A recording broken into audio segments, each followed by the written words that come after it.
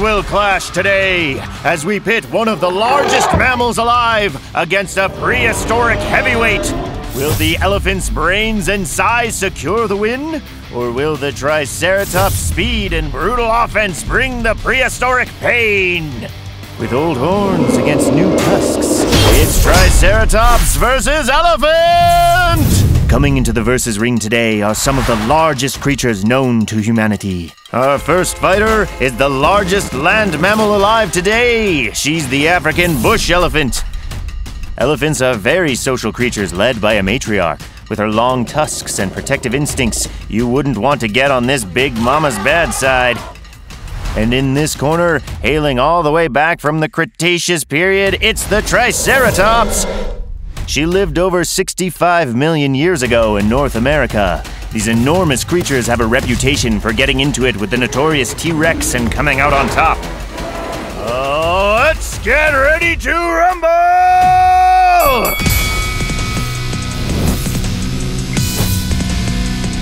Weighing in at almost 5,500 kilograms, the elephant means business. Measuring nearly 4 meters tall, with a length of over 6 meters, this contender is the animal kingdom's Andre the Giant.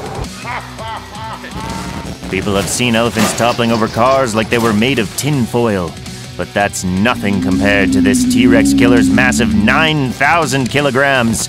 This Triceratops measures 3 meters tall and 9 meters long. Their heads were sometimes 33% of their entire body length, and they were the largest of all land animals of their time. It's plain and simple. The Triceratops wins this round as it's almost double the elephant's size.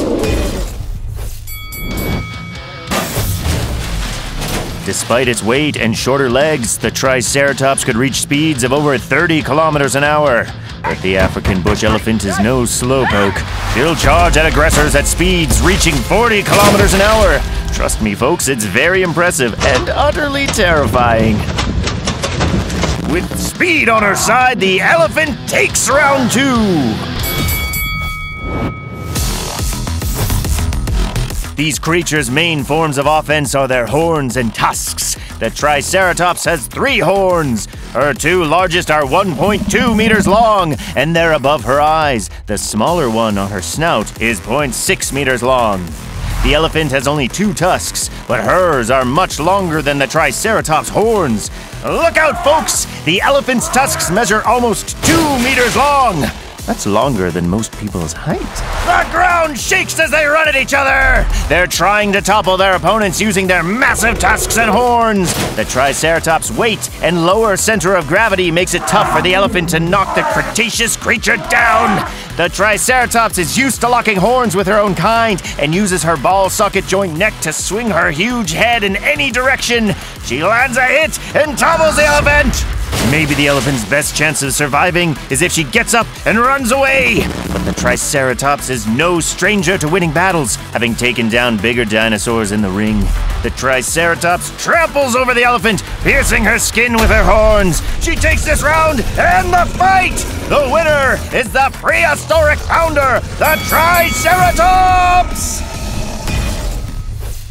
It's hammer versus horn when our winner takes on the Ankylosaurus. We'll see who wins on another round of Versus!